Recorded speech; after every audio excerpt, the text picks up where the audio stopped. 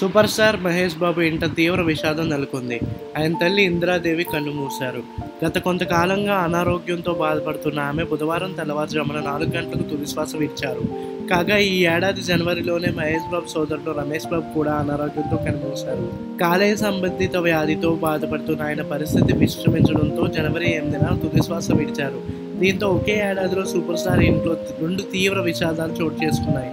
అన్నయ్యను కోల్పోయిన బాధ నుంచి తేరుకు చేరుకోకముందే తల్లికి దూరం అవ్వడం మహేష్ని తీవ్ర విషాదంలోకి నెట్టింది. మహేష్కు తల్లిపై ఎనలేని ప్రేమ ఉంది నమ్రతతో వివాహం జరిగే వరకు తల్లి చాటు బిడ్డగానే పెరిగాడు. ఈ విషయాన్ని పలు ఇంటర్వ్యూలో మహేష్ బాబే స్వయంగా చెప్పారు.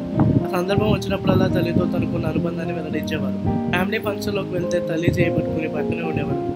ఇందిరాదేవికి కూడా చిన్నప్పుడు మహేష్ బాబు అంటే చాలా ఇష్టం ఉండేది. మహాప్రస్థానంలో అంత్యక్రియలు. ఇందిరాదేవి పార్థివ దేహాన్ని కుటుంబ సభ్యులు అభిమానుల సంద సందర్శనార్థం బుధవారం మధ్యాహ్నం పన్నెండు గంటల వరకు పద్మాలయ స్టూడియోలో ఉంచనున్నారు. అనంతరం జూబ్లీ హిల్స్లో మహాప్రస్థానం నిర్వహించనున్నారు.